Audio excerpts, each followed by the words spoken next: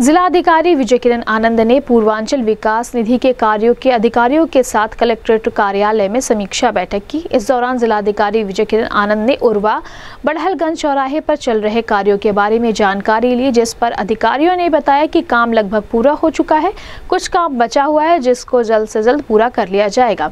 उन्होंने अधिकारियों को निर्देश दिया कि अपने अपने दायित्वों का बखूबी निर्वहन करते हुए गुणवत्ता युक्त निर्माण कार्य व रोड को समय से पूरा कर लिया जाए, जिससे कार्य को अविलंब शुरू कराया जा सके। अगर किसी भी अधिकारी ने कार्यों में लापरवाही बरती तो उसके खिलाफ कठोर कार्रवाई की जाएगी।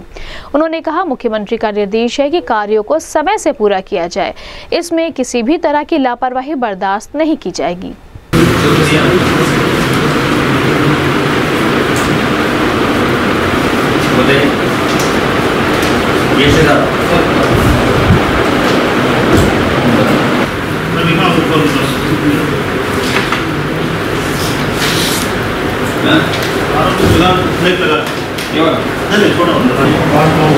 कोलवा बड़गंज चौराहे पर बाटपार मार्ग का निर्माण कार्य प्रांतीय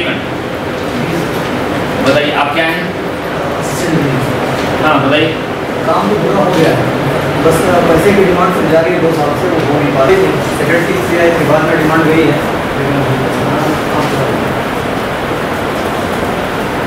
काम करो गए जान छुटा दी हाँ?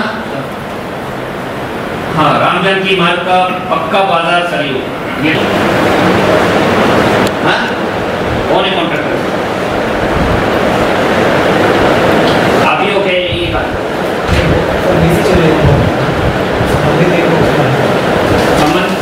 ये देख।